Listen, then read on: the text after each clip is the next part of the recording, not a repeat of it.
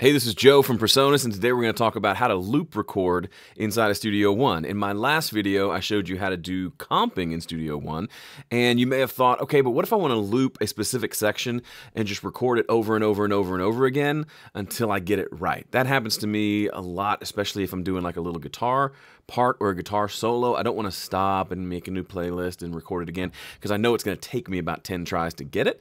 Um, mayhaps that's not the best way to do it, but it is a cool feature that you can do in Studio One. So it's actually really simple. You find your section where you want to do the actual loop. So we're going to take this section here.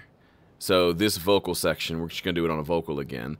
Um, and so this is the section I want to try to loop.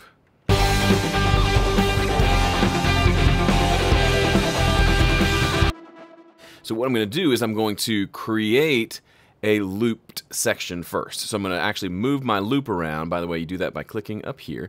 And I'm going to find it the right length. I think it needs to be maybe two bars before I start singing. Makes sense. And I turn the loop on, so it should be like this.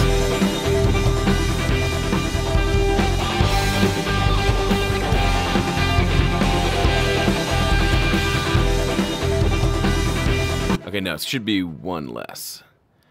So that is, yeah, that's a four bar, that's a four bar loop. So now I'm gonna start recording and what's gonna happen is, is if you can watch it, I'll turn this down, while I'm playing, you can see the playback head is moving along and since the loop is engaged, it's just gonna back to the beginning. So it's a good way to, obviously you can do that for practice and rehearsal and just looping things over and over while you listen or hunt for something with EQ. But in this instance, we're gonna just press record and we're gonna actually record the vocal and it's gonna record it over and over and over and over and over again. But each take is gonna be saved in a very special way that if I, if you didn't know that it was there, you might miss it. So let's do that now. Here we go.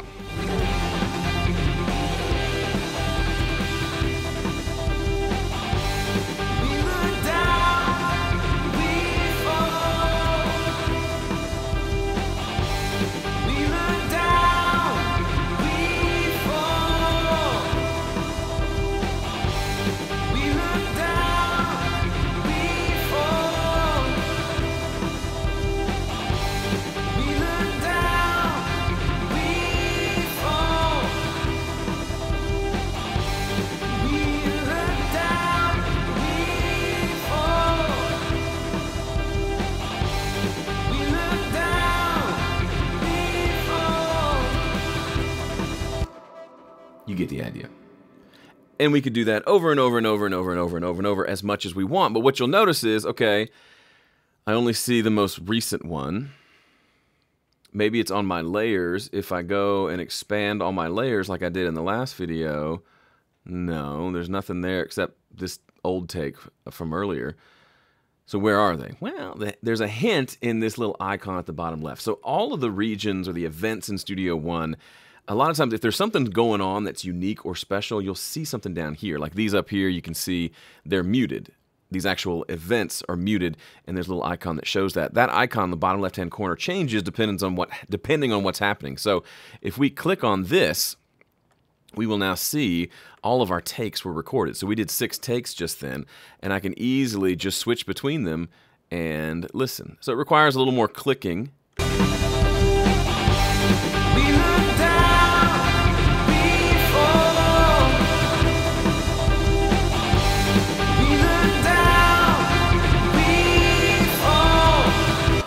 let's say we wanted to record all those takes, but we really would like to comp them together like we did, like I showed you in the last video, where you're seeing them all in like a list and then you're kind of selecting like this and comping the different sections. You can do that by, uh, check this out. If you right click on the event itself, you'll see you have a couple of options here. Unpack layers to tracks. Um, no, this is it, sorry. Unpack takes so these are called takes. So a layer is what I showed you in the last video. Takes are what we do when we loop record. Um, and now I can say unpack takes to new layers. And just like that, if I scroll down, you'll now see, look, these are all my takes. And in, they're named appropriately. They're called Vox Take 2, Vox Take 3. So now I can do my normal um, comping thing here where I like that part and that part and that part. Uh, and I've got all my takes here. Now they're on layers. So the, when you first record, they save them as takes.